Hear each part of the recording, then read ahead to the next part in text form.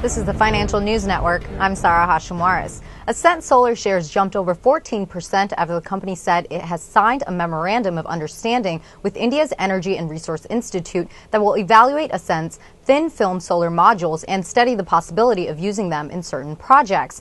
Ms. Akanksha Chaurey, Director of Decentralized Electricity Solutions and Lighting, a Billion Lives campaign, TERI, said, quote, Ascent Solar has been one of the forerunners in the development of futuristic technologies in the field of solar photovoltaic energy. Our collaboration with Ascent Solar will help engage the much needed newer cutting edge solar photovoltaic technologies into our ongoing electrification projects for rural applications, including solar lighting through our flagship program, Lighting a Billion Lives.